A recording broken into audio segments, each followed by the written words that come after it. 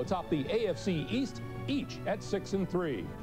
It promises to be another record-breaking day for Dan Marino. With just 38 yards today, he will pass Fran Tarkenton as the NFL's all-time leader. In San Diego, first in the AFC East, New England is 3 and 6, the same record as last year when they won their last seven to finish 10 and 6. Cris Collinsworth has the report from Joe Robbie Stadium. Ahmad, uh, Dan Marino's assault on the record book continues here today and his target will be your good friend Fran Tarkenton. The completions mark has already fallen. The yardage should go today, and an outside shot of the touchdown passes, so a carnival-like atmosphere here in Miami as Marino goes for the excellent production value, I thought. He gets upset if he's not in the pregame show. But we did talk to Bill Parcells yesterday, and he was unusually optimistic about his team's chances today and that's due in part to the fact that Curtis Martin, the running back, has been the hottest running back in the league over the past three games. So now let's go back to New York and Greg Gumbel. All right, Cris and Marv, thank you both very much. The Kansas City Chiefs visit the San Diego.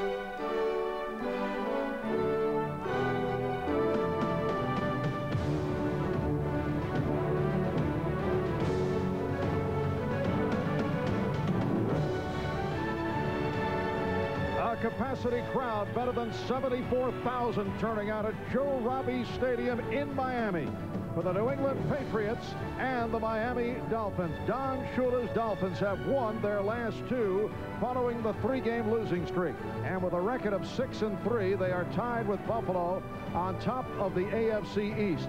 Bill Parcells' Patriots come off last week's win over the Jets, but at 3 and 6, the window of hope closing in in their efforts to duplicate last season's stunning turnaround, which led to a playoff berth.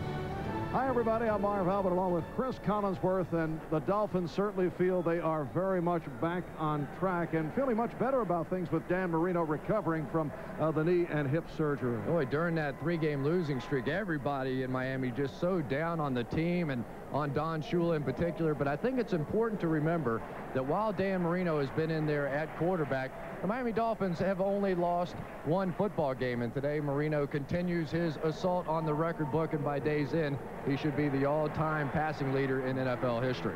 And Cris, it's been a year of disappointment for the New England Patriots. The injury hit Drew Bledsoe has not been able to break out, but it's been rookie Curtis Martin out of Pitt the running back who has done so well and has emerged as the offensive star for the Patriots. And if the Patriots are going to make a run here in the second half of the season, they have to establish a little more balance on the offensive side of the ball. And certainly Curtis Martin has given them that. Over the past three games, he has been the hottest back in the National Football League, even ahead of Emmitt Smith, despite the fact Emmitt just had two games there. But you look down the list there at number three, Bernie Parmalee also uh, establishing the running game for the Miami Dolphins. So both sides of the football, they're beginning to run it. Miami has won the toss, and they will receive the Miami Dolphins, who come off the Sunday night victory in San Diego, beating the Chargers 24 to 14. Their first win in San Diego since October of 1978. In fact, Don Shula said he was saving his post-game speech since the year 1978.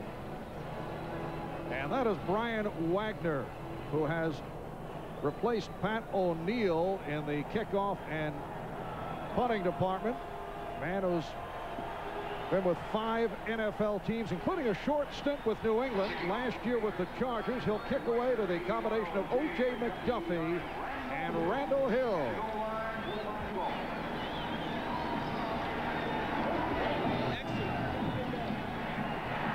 The line drive is handled by Hill. He is stopped up at the 25-yard line. It's a 19-yard return. And here is Dan Marino and the Miami Dolphins getting ready to go to the offense. A look at Richmond Webb, Keith Sims, Tim Ruddy, Chris Gray, and Billy Milner for the injured Ron Heller. Billy Milner, uh, number one draft pick out of Houston.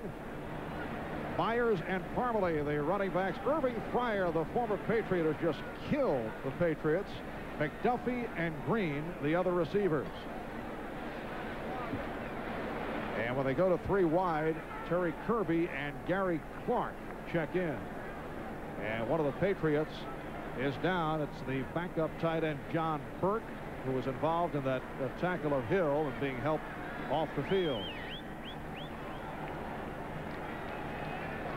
The Dolphins opened the season at 4 and 0, but in game 5, Dan Marino sidelined with that hip injury.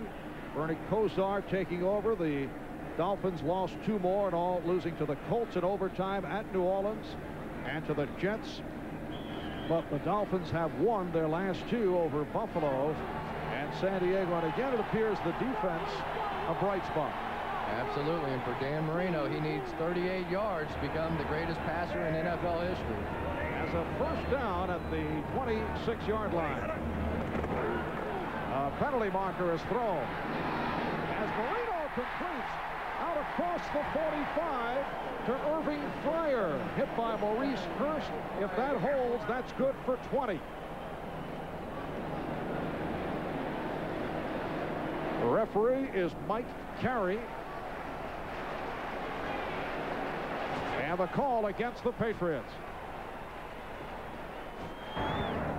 Offsides number 55. He lined up in the neutral zone. That penalty is declined. First down. Just one-on-one -on -one coverage by Maurice Hurst and Irving Fryar making the catch. And there's an internal battle going on with the within the Miami Dolphins team as to who will catch that record-breaking pass 18 more yards needed to establish a record, and Irving Fryar telling us yesterday that if he catches it, he's not giving the ball back. Terry Kirby had the same thought uh, if it's a touchdown because he's trying to equal a Miami Dolphin team record scoring in six straight games. But it's to the ground and a stumble by Parmalee. Loss on the play. Bernie Parmalee hit down by Ferric Collons and Ted Johnson. A look at the Patriot defense. Collons playing for the injured Tim Roberts, who's out with a knee problem. Reggie White starting at the nose. Troy Barnett on the right side. The linebackers, McGinest, Brown, the rookie from Colorado, Johnson, along with Slade, Reynolds, Hurst, Ray, Guyton in the secondary. And at the dime, Ty Law and Vernon Lewis come on. A second down and 12. Marino couldn't find anyone, and then he is intercepted picked off by Vincent Brown. The pass intended for Eric Green.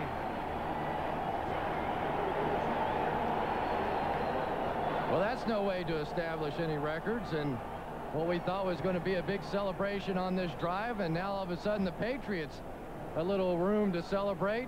Looked like the ball may have been tipped on the play by Reggie White, and that's what set up the interception by Vincent Brown, his third of the year. And for Bill Parcells, we talked about it a little bit earlier, but he is optimistic about his team's chances today. He thinks they have an excellent chance to win.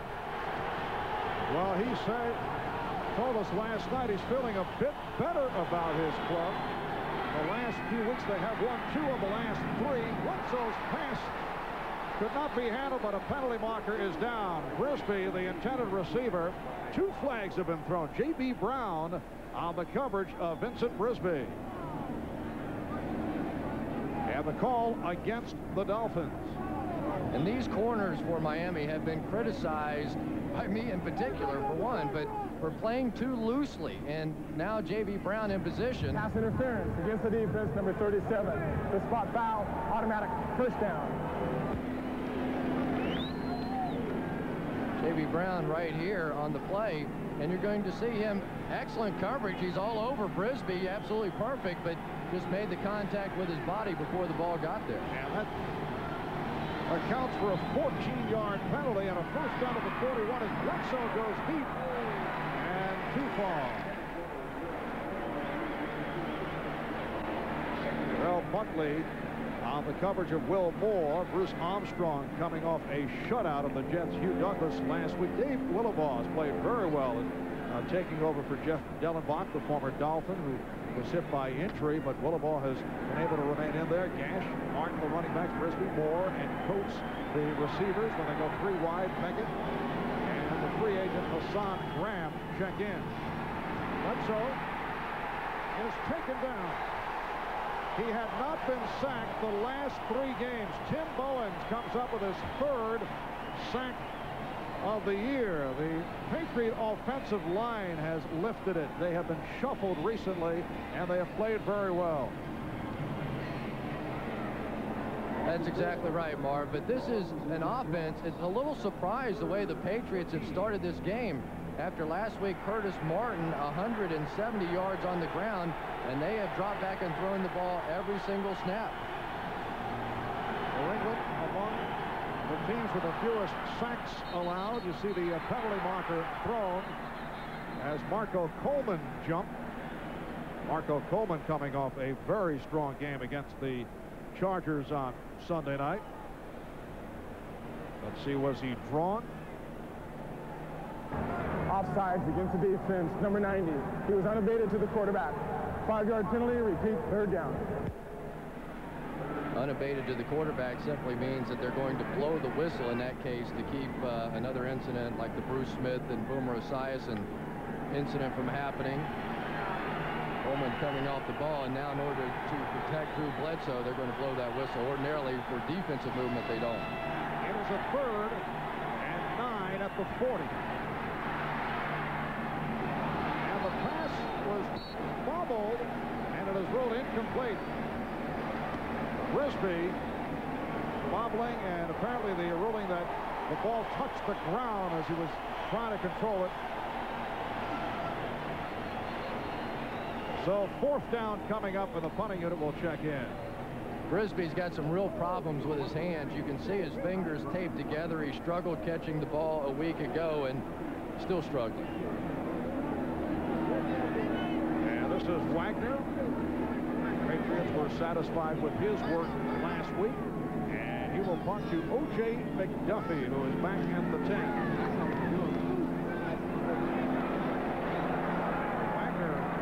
it into the end zone. It's a 40-yard punt. They'll bring it out to the 20 when we come back.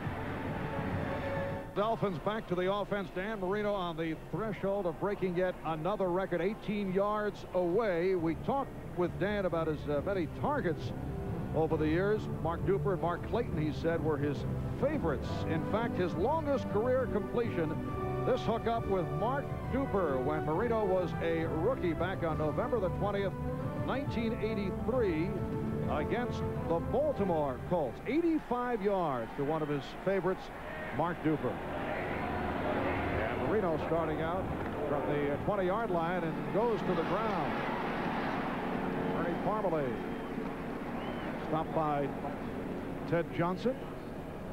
Bernie Parmalee earlier in the season had fumble problems, has certainly been able to work his way back and has come on very strong in recent weeks. Really has. And this has been an unusual running game for the Miami Dolphins this year. Three times they've been held under 50 yards rushing. In four games, they've been over 145 yards.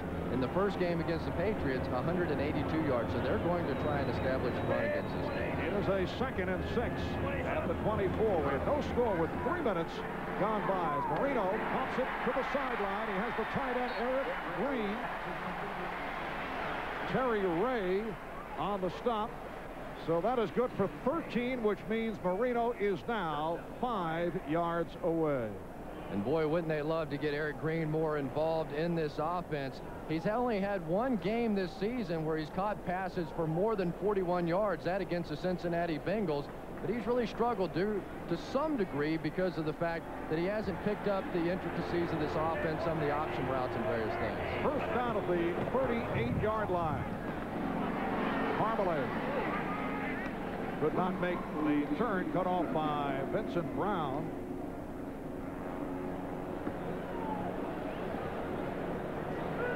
Interesting that uh, the Miami Dolphins are trying to run it to the right side predominantly so far in this game. That right side entirely new this season. Tim Ruddy at center, Chris Gray at the right guard, and Billy Milner now the rookie at the right tackle. Maybe they're just trying to go against the trend that they've established in some prior games.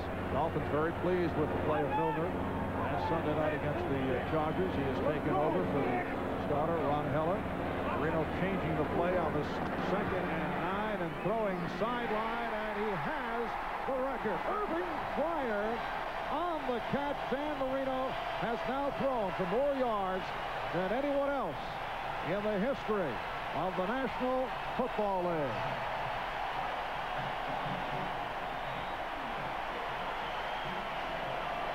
That is Dan Sr. and the rest of the Marino family.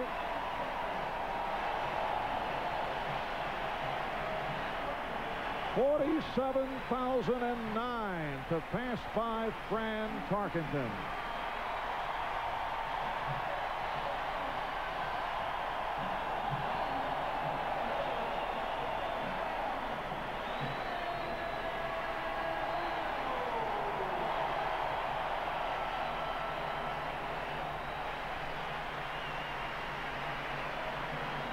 Cris, this one of those records coming into the game. You knew it's just a question of when, but still a lot of emotion on the sideline. It really is. And the record that Dan says means the most to him is touchdown passes, still five away from that.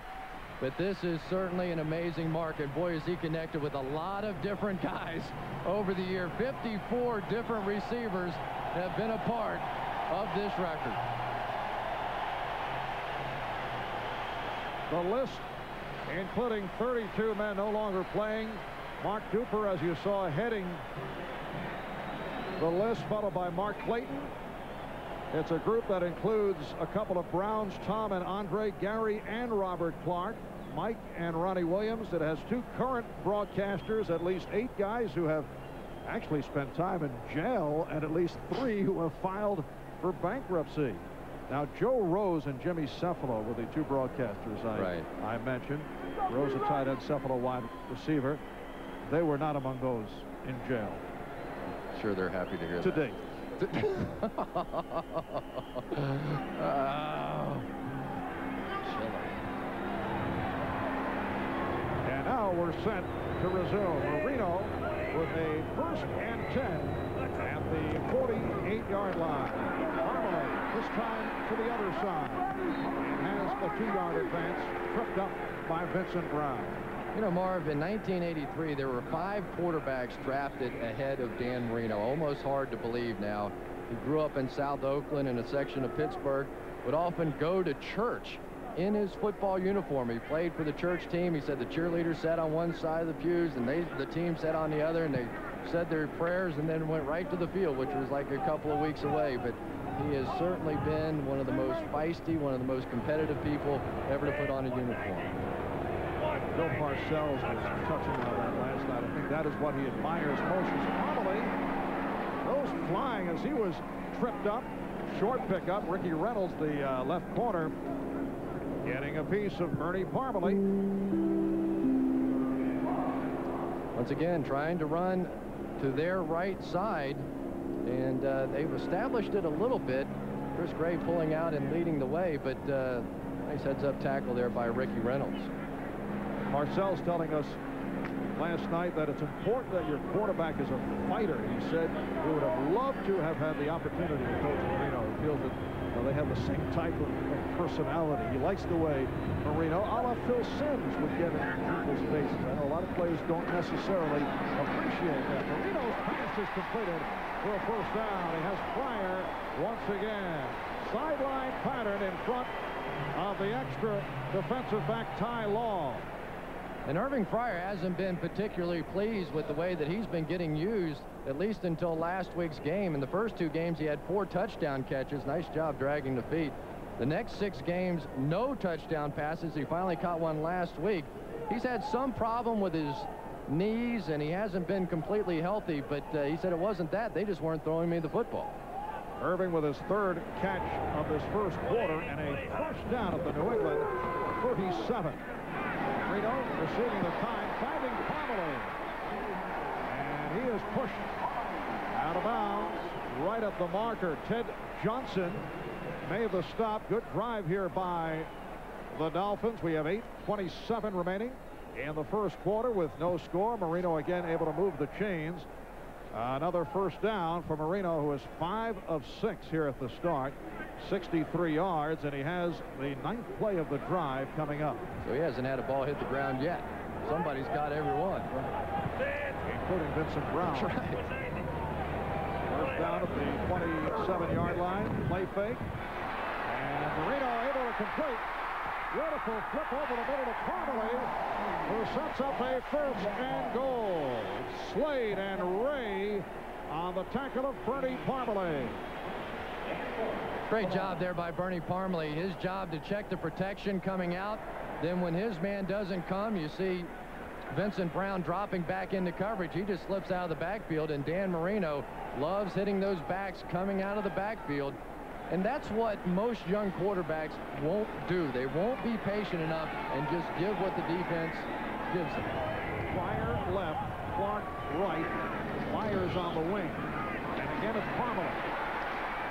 Inside the five. Submarine by the strong safety, Terry Ray. And one of the things that the Dolphins have been able to do this year offensively is score touchdowns on the ground. 11 touchdowns rushing, second only to the Dallas Cowboys. And now you can't just sit back and play against Dan Marino in the passing game. That's what Don Shula wanted, a little more balance offensively. Second goal at the two. 11th play of the drive. Dolphins with the double tight end, Ronnie Williams in motion. Play action. Marino looking right and then threw it away. Everyone covered. Good job by the Patriots. Marino tried to go backside to Ronnie Williams, and Ronnie Williams was caught up in traffic and not working very hard to get free. I wouldn't be surprised if Dan doesn't make a comment to him coming back to the huddle. Just sort of got tied up in traffic and then sort of gave up on the play, and that's what forced Marino to throw it away. It is a third and goal at the two.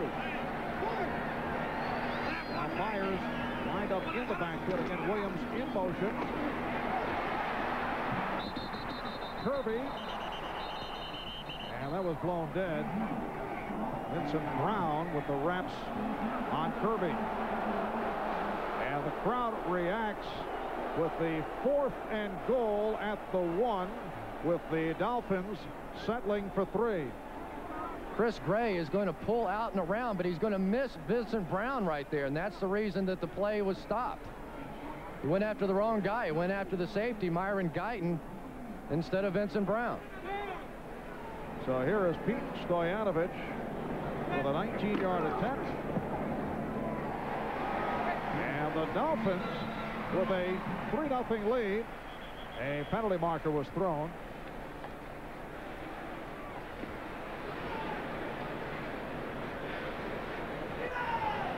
Well, the call against Miami. Hmm. Makes this one a little more interesting. Holding on the offense, number 51. 10-yard penalty. Repeat, fourth down. Well, that is Brian Cox. And they'll move it back for a longer field goal attempt for Pete Stoyanovich, who on the season has hit 19 of, of 24. He has missed one from this range, though. So this a 29-yard attempt coming up. See on the Brian, left. Yeah. Brian Cox with a hook on the corner. John Kidd putting it down. And Stoyanovich He's missed missed two. right here again. Well, Pete Stoyanovich has had his difficulties this season, but the hold by Cox turns out to be costly. by Compaq Computer Corporation. By Little Caesars Pizza, where you always get two great pizzas for one low price. And by Beechwood Aged Budweiser, the king of beers. This Bud's for you. A holding penalty on Brian Cox, costing Stoyanovich the field goal. He hit from 19 and then missed from 29 yards away. Curtis Martin getting the call. Tim Bowens Thank on you. the stop. So the Dolphins have the ball for six and a half minutes on that drive. 13 plays, six and a half minutes, and they come up empty. And for Brian Cox, he's going to hear about it when he goes and talks to those school kids. He still does it every two, every uh, Tuesday on his day off. And said during that losing streak, the kids were telling him that you stink. Very subtle. Huh? On the second and eight, Bledsoe completes to Brisby for the first down. That is good for 10 yards. Got to give Vincent Brisby some credit for just going out there and playing. He essentially uh, got that hook on his left hand, and, and he's having to just sort of knock everything down and then try to double catch it. But at least he's out there, and they really can't afford to have him out of the lineup. They have no deep threat whatsoever if he's not in there. It is a first down at the 32-yard line. Timing pattern tossed by Bledsoe. It is caught. The question is, was he inbounds? Caught by Curtis Martin. Yes, he was. It's good for 27. What an incredible catch here by Curtis Martin to keep his feet in bounds, reaches up for the football, catches it at the highest point, and I believe that's a good call by the officials. Beautifully thrown ball here by Drew Bledsoe. He threw that thing about uh, 20 yards from where Curtis Martin eventually caught it, and he got those feet down. Great play by the Patriots. And New England with a first down at the Miami 41-yard line. It is a cloudy, overcast, 74-degree day here in the Miami area. As you see Michael Stewart being checked. Michael Stewart, such a significant player against the Patriots, shut down Ben Coates in that earlier meeting back in September. He really did, and this is a big blow right now for the Miami Dolphins because he covers Coates one-on-one. -on -one. Let's see if Bledsoe goes to him now. Play fake, and Bledsoe throwing incomplete intended for Brisby, who was covered by Cox. The last time the Patriots beat Miami was a 1993 season-ending overtime victory. Actually, Marino was sidelined by injury. Scott Mitchell was the quarterback for the Dolphins. The Dolphins have won three straight, 12 of the last 13 against the New England Patriots.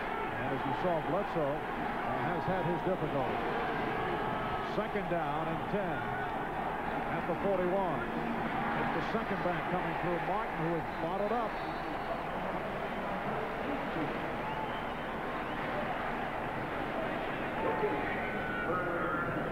And Drew Bledsoe over the last three games against the Miami Dolphins. Was that one game last year here, the shootout with Dan Marino, but really since then has really been struggling to get anything going. 345 remaining in this first quarter. The Patriots and Dolphins are scoreless. Penalty marker down as Bledsoe is able to complete. Hason Graham on a crossing pattern brings to the 11 where he is tackled by Troy Vincent. But there is a flag down. And they will bring it back. Boy, what a shot in there that time by Drew Bledsoe. Holding on the offense, number 76. 10-yard penalty. Repeat, third down. With William Roberts with the hold. Roberts right there.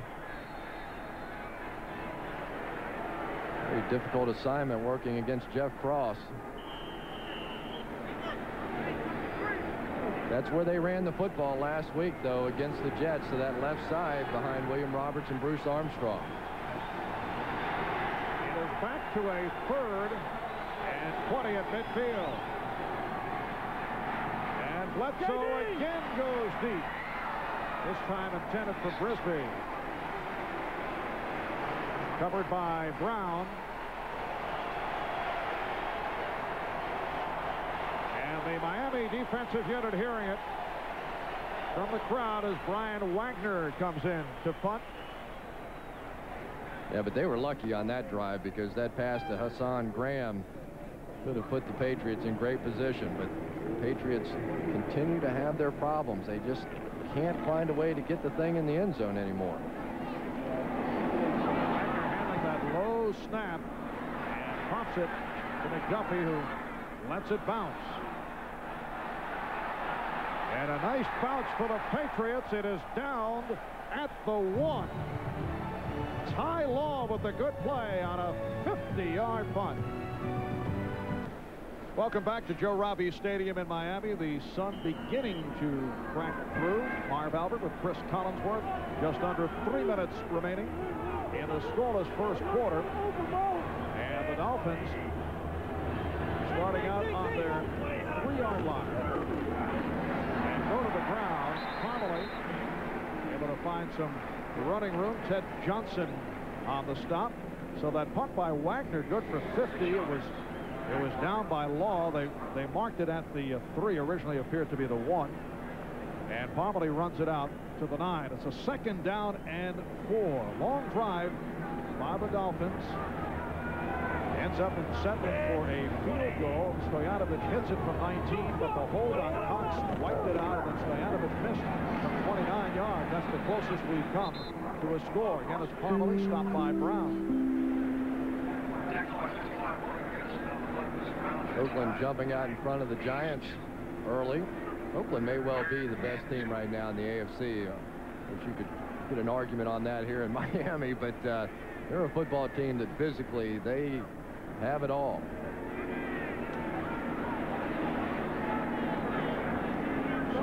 Buffalo tied at seven coming into today. Buffalo and Miami at six up and three down on top of the AFC East. It's a third and two from the 11. Marino able to complete off a nice catch by Gary Clark. Gary Clark in his 11th NFL season. He's 33 years old. That is good for 13 yards as Clark makes his first catch of the day. And the key to the play was how much time Dan Marino had to get this thing off. Gary Clark in working against the zone coverage, that takes a good three or four seconds to get in the middle of the field between the linebackers, and you can't run that route without good offensive line play. Miami with a first down at their 29. Myers in motion. Parmalee has the opening. Flag is tossed. Parmalee with a burst for the first down, pending the uh, penalty marker. Parmalee running for 16, but it will not hold. And I believe they're going to get Keith Byars for holding against Willie McGinest. Byars had a pin block on the outside. Holding on the offense, number 79. 10-yard penalty. Repeat, first down. Sorry about that, Keith. Billy Milner, the rookie, is the one that got caught for the hold. And he's a guy, Billy Milner's a guy that comes in there for Ron Heller, and Heller's had plenty of injury problems. A guy with all the talent in the world actually quit football at one time playing for the University of Houston and said he just didn't have his heart in it anymore. Kim Helton, the coach out there, gave him a couple of days off to think about it, changed his mind, and in no time at all was the number one draft pick. Some of the NFL teams considered him to be an injury risk. Right. College career battered by injury. Marino did well to get that off. Throwing it behind Byars. Crowd reacting, looking for a penalty on the Patriots. A relatively calm Dan Marino so far in this one. Maybe he's still in a happy mood because of the record, but that won't last very much longer. He, he's a guy that he will get in the face of those guys on his football team. And Parcells was even talking about that last night. He said, I really like the way he competes. I'm not so sure that his own teammates like it very much. I like the way he goes after them. Marino 7 of 10, 94 yards. He has been picked off once. Second down and 20. Look out. Marino gets it away to Byars. And Byars works to the 23-yard line. Keith Byars coming off his most effective game of the season last week. Had a couple of carries, caught six passes for 55 yards, and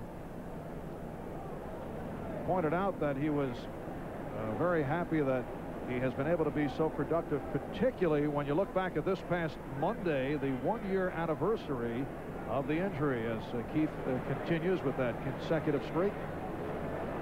Keith Byars making it back from knee surgery, went down in game six last season, and his career a question mark. He has come back very well. That's the end of the first quarter. A look back to recent meetings between the Patriots and the Dolphins in their last get-together here at Joe Robbie, September of 1994. Bledsoe with the 62-yard pass to Ben Coates. That made it 21-10 New England. Coates had 161 reception yards on the day, a career high, and Marino with a 26-yard pass to Keith Jackson to cut it to 21-18, but Irving Fryar had a big game against his uh, former club, and the final score in a shootout, 39-35 Miami. Both quarterbacks combining for nine touchdowns, nearly 900 yards. But uh, since then, they played twice, and the Patriots have been handcuffed in the offensive department. That is incomplete. Ricky Reynolds on the coverage of O.J. McDuffie, and the uh, crowd was looking for an interference. Dan Marino's lucky that one didn't get picked off. Ricky Reynolds had his back turned to the play, and it looked like Marino's arm may have been hit. And had Reynolds seen the flutter ball coming, he may well have taken it.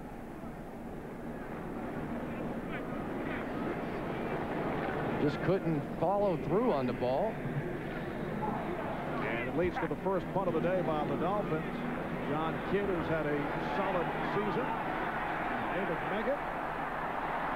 Meggett with some shifty moves, but well covered by the Dolphins. And a Miami player is down. 44-yard punt and a three-yard return. Wayne Dotson on the stop. Pretty gutsy catch that time by Meggett. Sean Hill was literally hovering over the top of him as that punt was coming down and Meggett refusing to fair catch. Sean Hill come in from the right side of your screen and literally just be hanging over the top of him and he still caught it and got away from Sean Hill. You've got to give him room to catch the football and Hill unable to time that one out. That could have been an explosion on the field.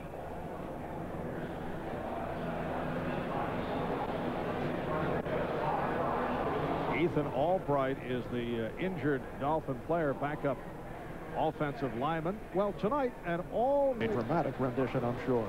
And that's followed by an all-new Hope and Gloria NBC tonight. I assume she had to get out of that bed in order to do this part. What was it, like a year or something she stayed in that?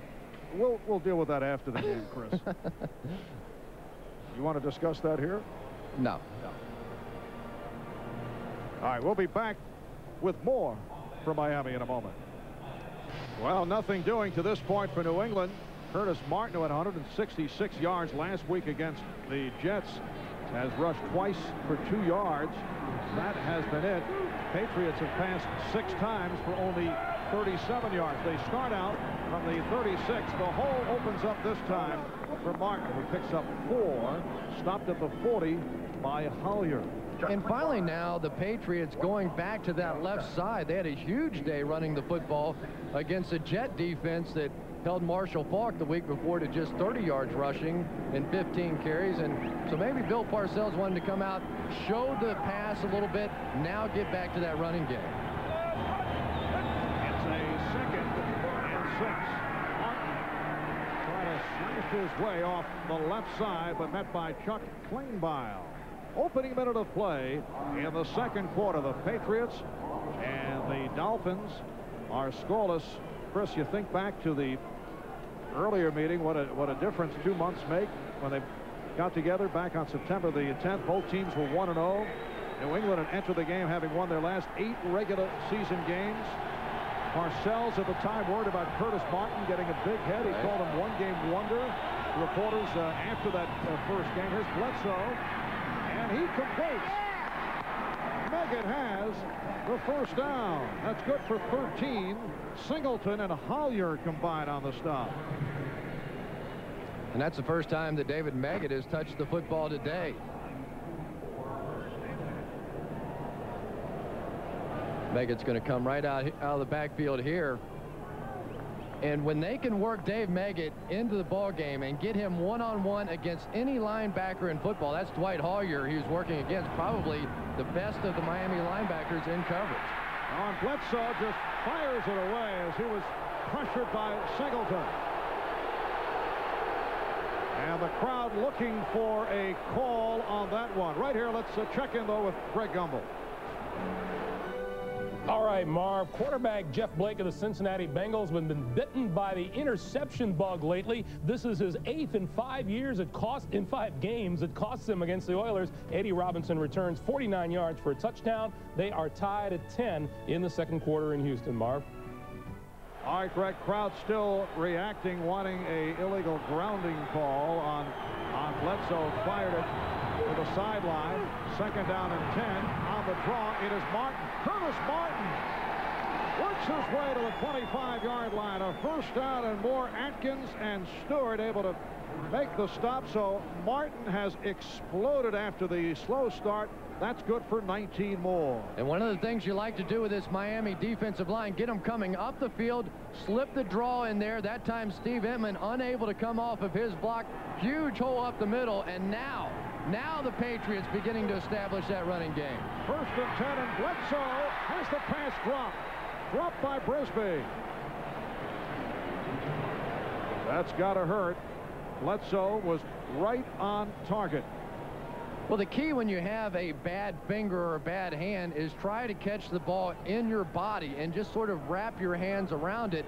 And for Vincent Brisby, he's letting it hit his body, but his hands aren't close enough to make the catch.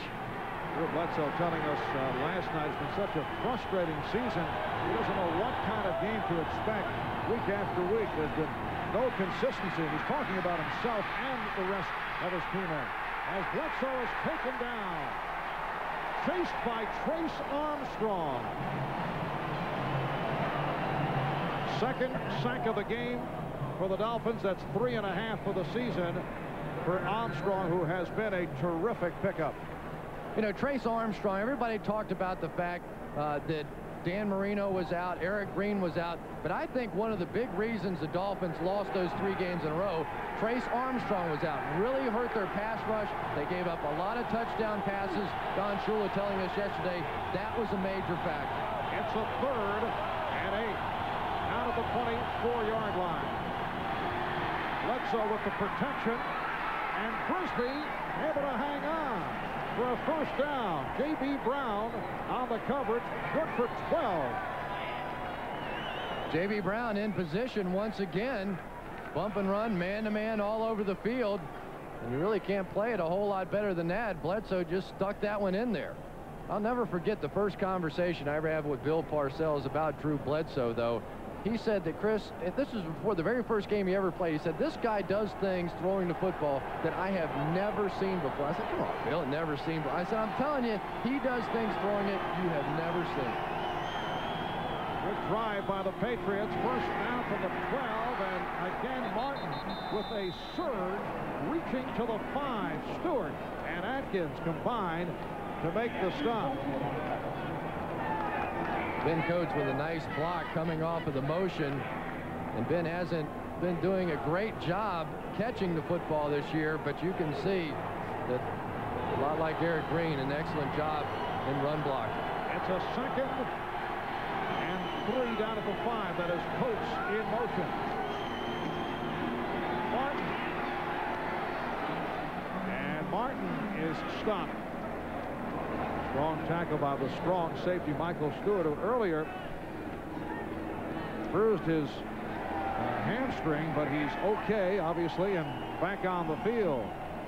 What a huge collision on that play with Sam Gash. I believe it was against Brian Cox, and you start setting up those isolation plays where it's just the fullback against the linebacker. Well, actually, that was against Chris Singleton, and those two guys are just going to go smashing into each other, and you talk about smash mouth football, that's a part of the equation with Bill Parcells. They are measuring to see if the Patriots picked up the uh, first down. Looks to be inches shy. It'll be a third and inches for the first down. The ball inside the three. Only one rushing touchdown so far for the Patriots this season.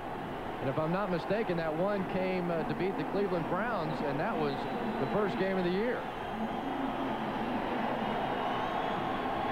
Five minutes gone by in the second quarter. Dolphins and Patriots are scoreless. An opportunity for New England.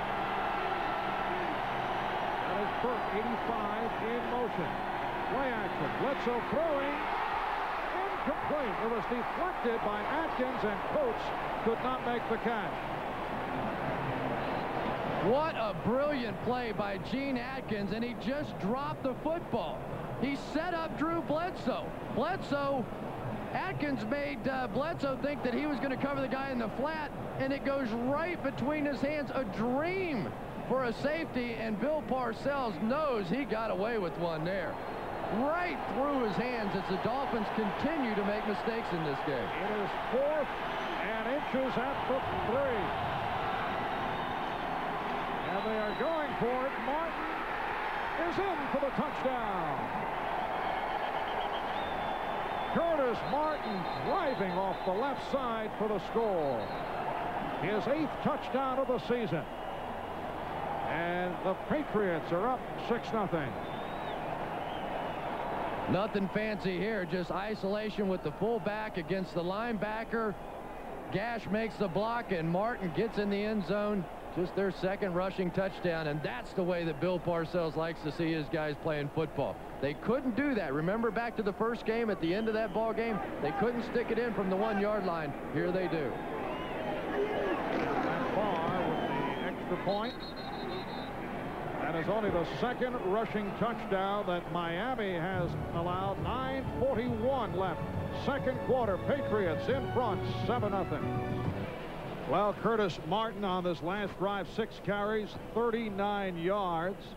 Coming into today, Miami against the rush, very effective. Martin quiet in the first quarter, but able to break out with a couple of bursts in the second as New England went 12 plays, 64 yards in five minutes for the 7 nothing lead. The kickoff by Wagner. And a tackle by McDuffie. And on the reverse, Hill took the handoff. Randall Hill taking it on the reverse from McDuffie. Vernon Lewis able to haul him down and a very well executed kick return for 34 yards. And Randall Hill upset. He thought he should have gone the distance with this one. Great speed from Randall Hill. Didn't get much of a running start there. But here's a guy that can run under 4-3. Had a big catch last week. Over 50 yards. He is a pure speed receiver. Not much going over the middle. But uh, when they can get him in the open field, very dangerous. And it's a first and 10 at the 40-yard line for Dan Marino and the Dolphins. He goes to the play action. In trouble, he throws it away. And a late hit. Chris Slade with the late hit on Marino. So that draws the flag.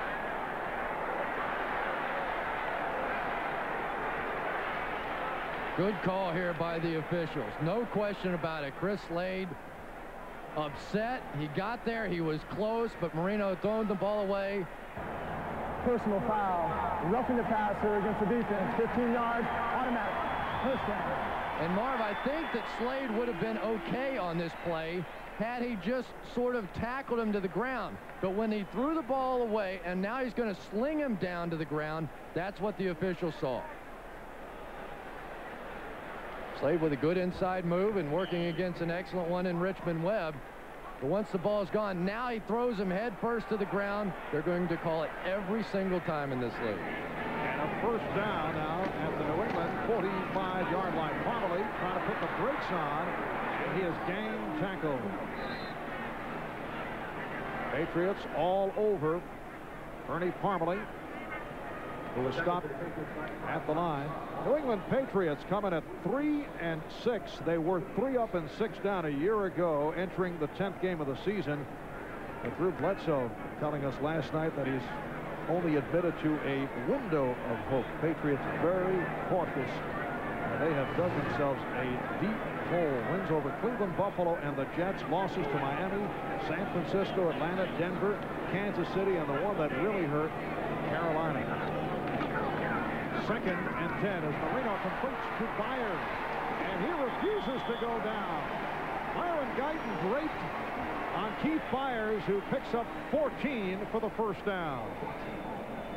And Keith Byars essentially a wide receiver slash tight end.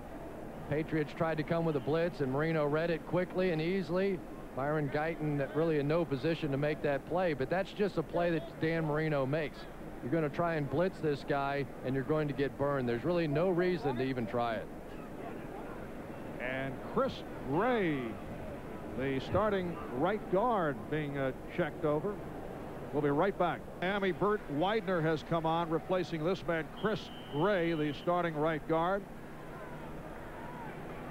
Miami having its difficulties on the offensive line earlier in a special team situation. Ethan Albright suffered a sprained ligament left foot, and he is out the rest of the way. Marino throwing over the middle has Parmalee for the touchdown.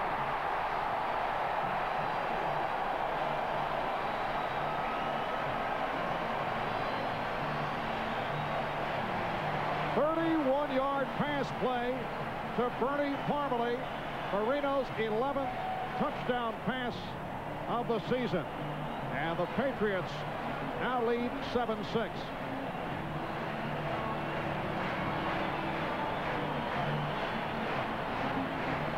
Once again, the play action fooling the Patriots. They want to come up and try and play the run. That time the linebackers reacting just too quickly. And now Stoyanovich, who earlier missed a 29-yard field goal attempt.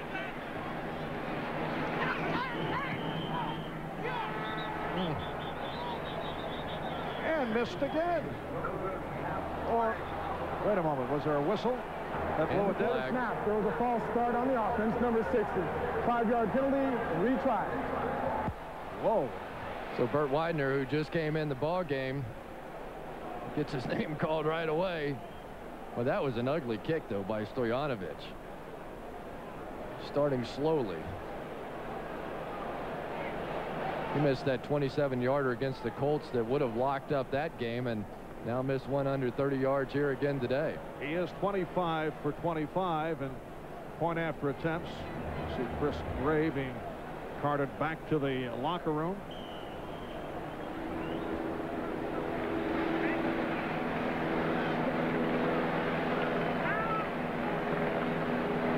Again, the attempt by Stoyanovich from deeper range and puts it through to tie the game at seven.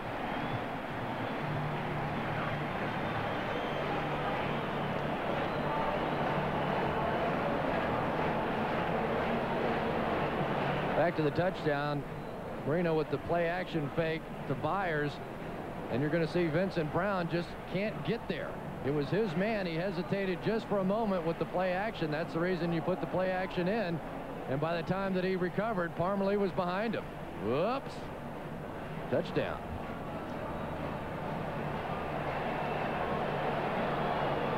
So now Dan Marino needs four to break the record that he covets the most for touchdown passes. Number 11 on the season for Marino, number five for uh, Parmalee.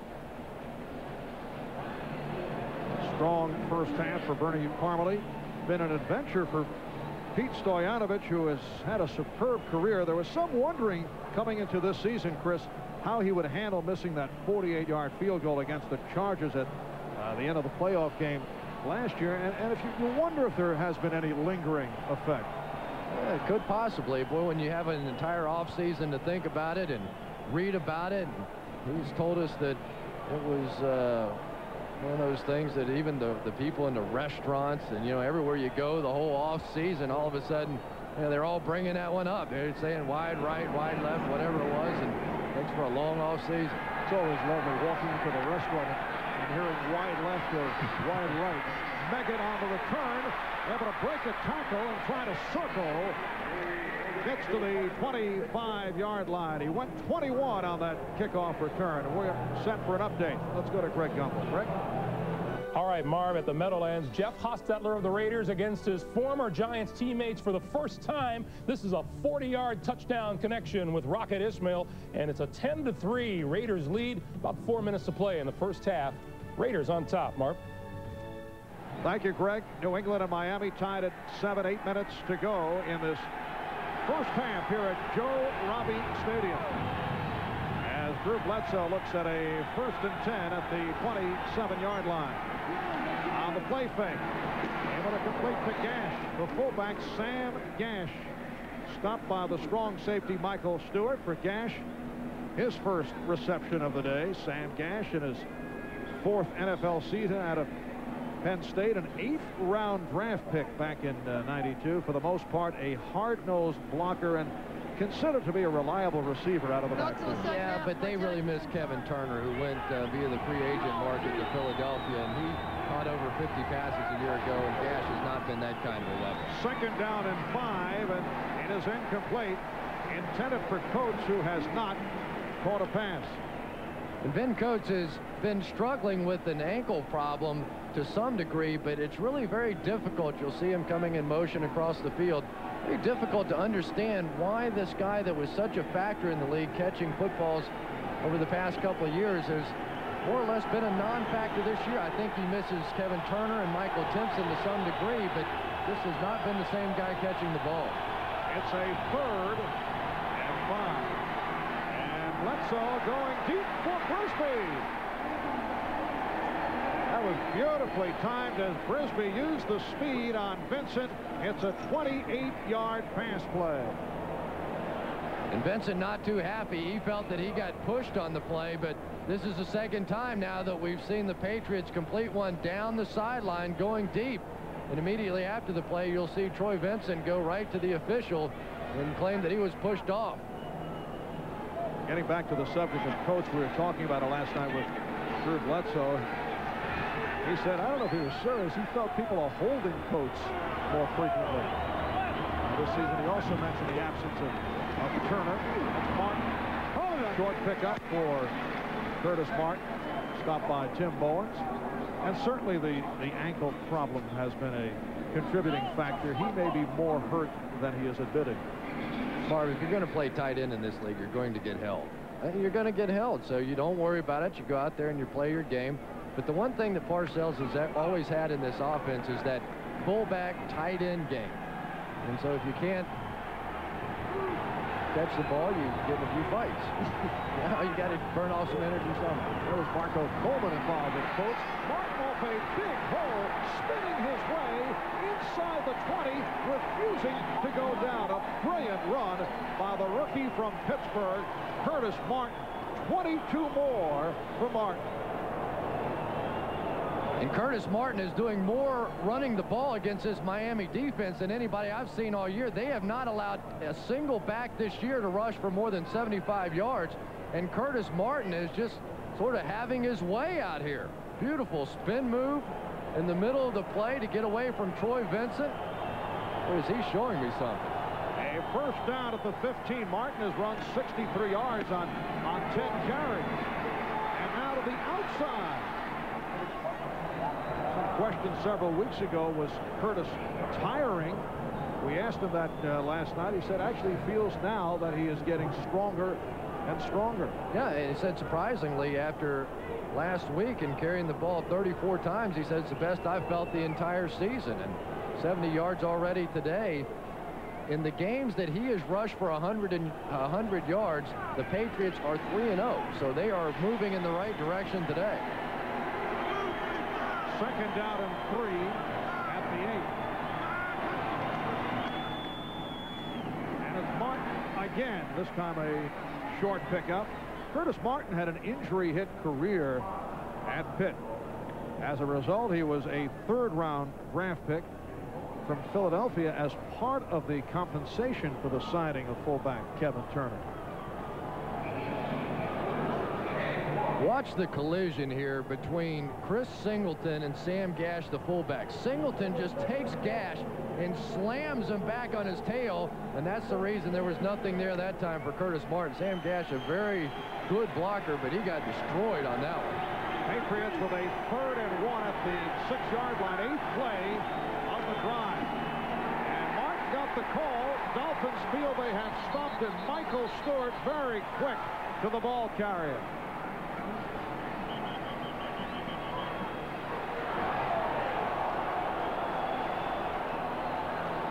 Now the Dolphins also indicating that they knocked the ball free. Patriot offensive unit remaining on the field.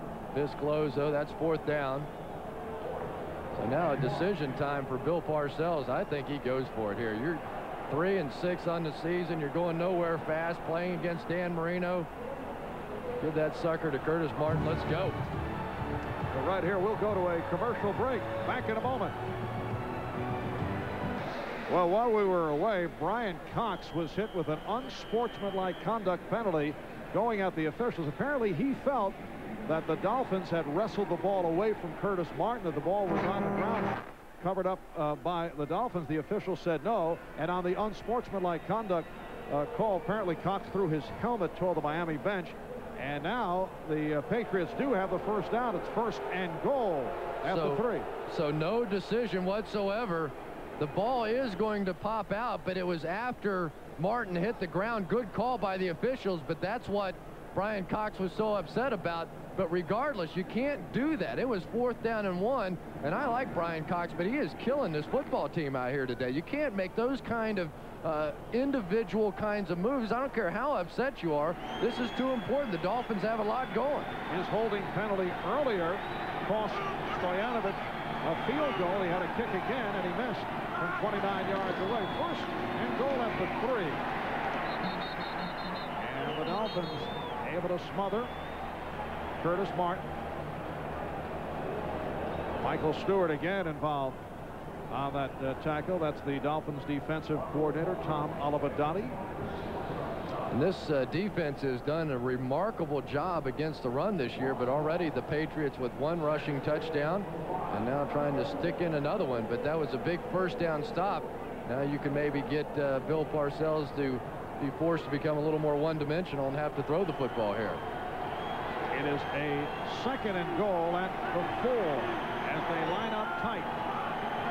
Burke in motion on the sweep. Mark following Gash. Trying to cut inside.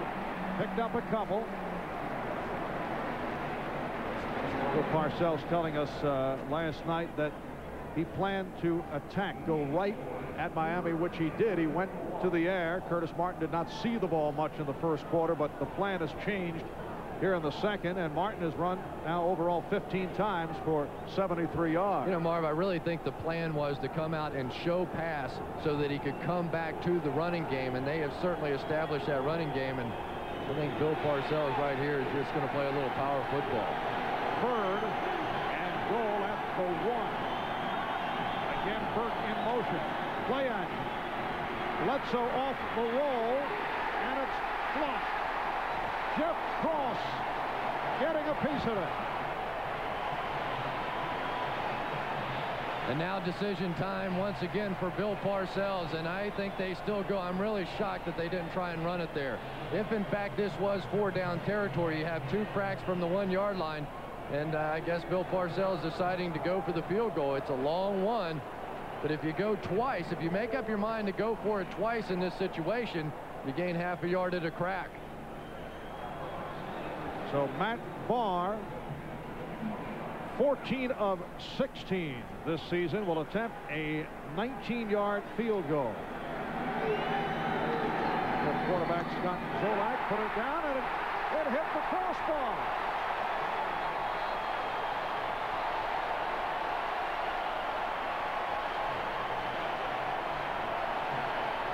Wow. Well, both kickers will not look to think back. Tim Bowens right here is going to get his hand up and block this kick, but there was no penetration on the play whatsoever. And then everybody remembering Leon Legg, get away, get away, get away. Yes. Good hold, good hold. Bahr just never got that ball up in the air. I mean, that thing never got more than about five or six feet off the ground. So the Dolphins take over, and they go to the re reverse with McDuffie. Mr. First Down himself, O.J. McDuffie, has picked one up. Ricky Reynolds on the stop. So a 19-yard field goal attempt by Bahr missed. It's the shortest miss of his career. But the highest bounce of his career. Absolutely. Reverse on the play, and McDuffie out there. Was that Marino throwing a block? Well, he didn't hit anybody, but he laid down somewhere near someone. And a first down at the 31-yard line. Parmalee out to the 40, just shy of a first down, met by Maurice Hurst. Two minutes to go in this first half. Well, a hole not available for Brian Cox, so he does the next best thing as he hides yes. from Coach Shula. Well, coming up, Ditka do if he had the chance. Coming up at halftime, the Domino's Pizza NFL on NBC halftime report. And uh, joining Greg in the studio, Mike Ditka, Joe Montana. They'll have scores and highlights. Will McDonough with news from around the NFL. It's a second and one at the 40, just under two minutes remaining in the first half. And Myers, with a rare carry, picks up the first down. Marv, this is a key moment in the ball game right now. Obviously, Bill Parcells disappointed not getting any points out of that last drive. Now, if Marino can convert on the other end, a lot of momentum going in at the half. And Marino throwing deep sideline. And overthrows the intended receiver, O.J. McDuffie, with Ricky Reynolds alongside. You know, the one thing that Dan Marino does so well is he gets rid of the football. During that losing streak with Kosar and McGwire in there, they were sacked once every 16 times. Dan Marino only gets sacked once every 37 passes. And he just does not take the sacks. As soon as somebody gets near, he gets rid of the football, gets it out of there, and that's a key part of this offense. And the Dolphins have had to reshuffle the offensive line. It's now Webb and Milner at the tackles with uh, Sims and Weidner at the guards. Ruddy at center. Gray, we're told, being x-rayed as he hurt his left ankle earlier. That was tipped away. The pass broken up by Ted Johnson. A leaping Ted Johnson was able to get a, a piece of it. Pass intended for Irving Fryar. Wouldn't have wanted to try and slide a phone book underneath him after that jump, but uh, it didn't, oh. look, didn't look like Michael Jordan. Now, wait a minute. Look at this. You do a lot of basketball. Yes. Four, there was no, that three, wasn't bad. Four inches not at bad. least. not too bad. Ted goes, what, 6'3", 240 pounds. He had a time perfect. Yes, that he did. That's what Ted would tell us. Third and 10 at the 43, a minute 25 remaining in the half. Marino, after stepping up, is able to complete the clock and has a first down. Terry Ray, the strong safety on the tackle. It's a 20-yard advance. How'd you like to have a guy as your third wide receiver who has caught 50 passes or more 10 times in the National Football League? Gary Clark has just been a tremendous weapon as that third wideout. Kind of reminds you a little bit of Nat Moore and his ability to find those open zones. And here, absolutely wide open on the play. Looked like Ty Law chased the guy deep and left the open zone underneath. And Dan Marino requesting a timeout. So both the Patriots and Dolphins with two timeouts remaining.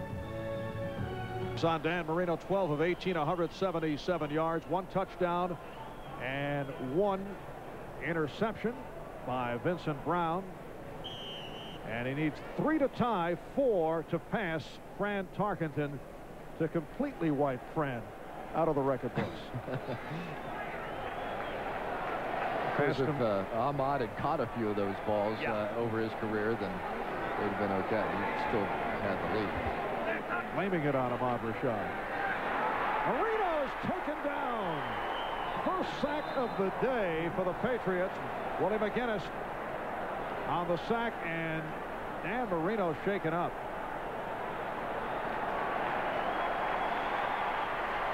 And a big sigh of relief from this crowd when Marino got to his feet.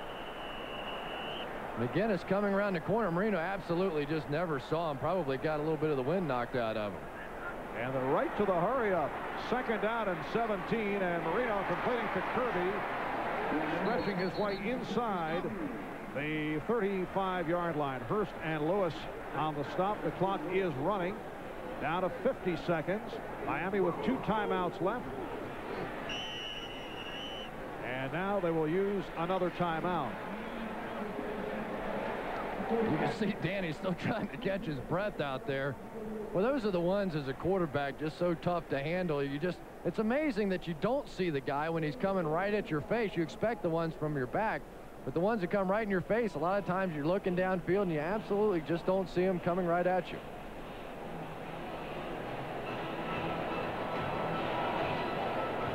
Willie McGinest coming up with his fourth sack of the season. Here's a uh, look back at October the 8th against the Indianapolis Colts where he took that uh, hard hit.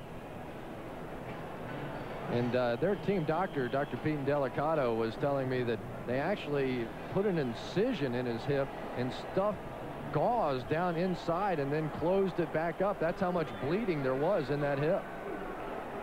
Well, that caused the hip injury. He's also back from arthroscopic surgery on his right knee. Look at what he has faced uh, here in the first half. 48 seconds to go in the half. And Marino completes again to Clark. Sideline pattern by Clark. Bumped out by Ray, and Gary Clark has been so effective. That's his third catch. This one good for 17. And Gary Clark, as a third wide receiver, overmatching Vernon Lewis, the nickelback for the Patriots. That's something they're going to exploit. You know, you just don't think that you, are going to see a guy like Gary Clark as their third wideout. So you got your third corner out there, and you feel fairly comfortable about it on most teams. But with Gary Clark, boy, is he dynamic. Now Hill is to the left and Fryar right. First down at the 16-yard line. 41 seconds to go in the half. Marino very close to the line of scrimmage. Obvious confusion on that play and may have been across the line as a flag is thrown. Yes. Or was that intentional grounding? I think they're going to call intentional grounding on the play, and that's a bit of a surprise because there was a running back, I don't know exactly who it was, over there in that vicinity, and I think that's what Dan saw and sort of tried to flip it, and then the running back stopped. I don't know how close you have to be, but there was a... There was no foul for intentional grounding. The quarterback was out of the pocket. Well, once you're out of the pocket, all you have to do is just get it to the line of scrimmage, and then there is no intentional grounding. You could see him looking over there, and that was Terry Kirby that he saw out of the corner of his eye. I don't know if he was out of the pocket or not, though. I don't know exactly. Usually the pocket is defined by the two tight ends. Uh, whether they're there or not, you take lines going straight back, and looked like he was within that two tight end area. And, and very close to the line of scrimmage, but stopped just short that would have been an illegal forward pass. The officials are still discussing the play. We have 34 seconds to go in the half and a second and 10 at the 16. And Marv, I think they're talking about exactly what you said, that, okay, it's not intentional grounding, but it was still an illegal forward pass because he was over the line of scrimmage.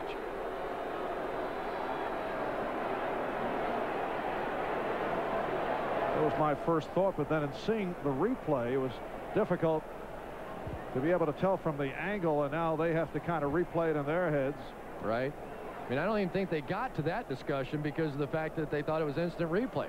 And you see Bill Parcells saying he threw it Correction. as he stepped the over the line. goes in the pocket, intentional grounding, 10-yard penalty, and loss of down, third down. Yeah, I mean, that's that's got to be the right call because he was within that two tight end area.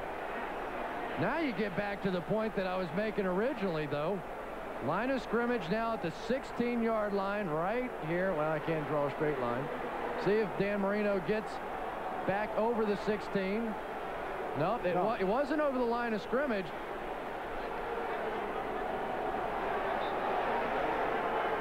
But he was clearly within the two tight end box. And Don Shula not happy at all. Bring that one up on the competition committee. Well, it sends it back to a third and 20 at the 26-yard line. But there was a receiver fairly close to that area, and you could see Dan look out of the corner of his eye and see Terry Kirby and then just not be able to get him the ball. Make it a second and 20 at the uh, 26 with 34 seconds left in the half. Marino going short range and almost intercepted on the deflection. Mike Jones got a piece of it.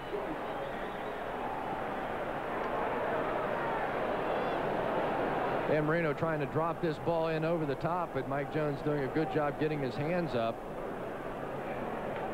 Knocking that football away, and now the Patriots starting to get a little pressure but let me go all the way back now and finalize the chapter on the intentional grounding. I don't think that was intentional grounding. I think that he saw Terry Kirby out of the corner of his eye, and since he wasn't over the line of scrimmage, should have been no call. Third and 20 at the 26. Marino completes to Kirby inside the 20-yard line. Clock is running. 20 seconds to go. Vernon Lewis with the spinning tackle. And now the clock is stopped. Dolphins will use their final timeout. Clock stopped with 18 seconds left in the half. The Patriots and the Dolphins are tied at seven. And when we resume, it'll be a fourth and 12 down at the 18-yard line. So this about a 35 or 36-yard field goal attempt for a kicker who I would think has done a lot of thinking after missing the 29 yard field goal after hitting on a 19 that was wiped away by the hole called on Brian Cox. You know, Stoyanovich has actually been more accurate from the 30 to 50 yard lines than he has from in tighter. And this is a 36-yard attempt. High snap, and he line drives it right through. Well, that has to feel good for Pete Stoyanovich as he gives the Dolphins a 10-7 lead with 14 seconds remaining in the first half. Miami Dolphins with uh, an eye on the scoreboard. Buffalo playing Atlanta. Buffalo and Miami at 6 and 3 leading the AFC East. Indianapolis 5 and 4 then New England at uh, 3 and 6 coming into today. I saw that Buffalo team last week. Boy, do they have a defense, especially that defensive line with Bryce Paup and Bruce Smith and Phil Hansen and Cornelius Bennett with the hamstring pull last week. Don't know if he's playing in this one or not today. But for that guy, he's been uh, having a rough go of it as well. Coach Don Shula, he was telling us the other day that the criticism that he's taken this year has been unlike any he's ever taken in his life, that it's been cruel and vicious. And he said, you just don't expect it here in my hometown. Well, Don Shula and the Dolphins, you mentioned Buffalo. They are looking down the road to a game in Buffalo next to last game of the regular season. Miami with four of the next five at home. Next week, a Monday night game home for the 49ers. And then at Indianapolis, home for Atlanta and Kansas City, at Buffalo, at St. Louis. The kickoff by Stoyanovich. And here is Meggett. Meggett to the outside, looking to break it. Oh, what a return by Meggett. But only one second remains in the half. 64-yard return. Louis Oliver was able to get him out of bounds. This is the exact same kind of a return that he made before. Remember, he kind of goes in there, gets lost in the crowd. He's not very big. Probably can't even find him once he gets in there. Now, boom, bounce it to the outside, and he takes off and still shows he's got a little speed there. And for Matt Bahr, now an attempt. This would be by far the longest this season, his longest to, to this date, 51 yards.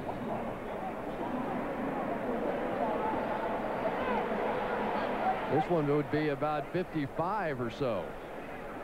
The official word is a 55-yard attempt for Matt Bahr, who missed in his uh, last attempt in the second quarter, missing from 19. Although Bowens had something to do with it, uh, got a piece of it, but a 55-yard attempt for Bahr. There you see the career long for Matt, 54 yards. Well, Matt's been around a long time, and uh, that kick probably took place uh, many moons ago. Well, a 17-year veteran. He's 39 years old. He is not considered to be a long-range specialist. No. But Bill Parcells just told him that he is. Let's see if he can get it to the end zone. He has not hit a 50-yarder since 1991. This one is good.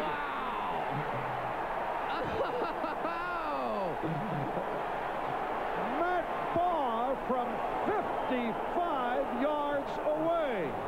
Parcells telling I told you you could do it. What are you so nervous about? Unbelievable. Matt Bahr has tied the game at 10 as both clubs head off the field. And we will go to Greg Gumbel for the Domino's Pizza NFL on NBC halftime report.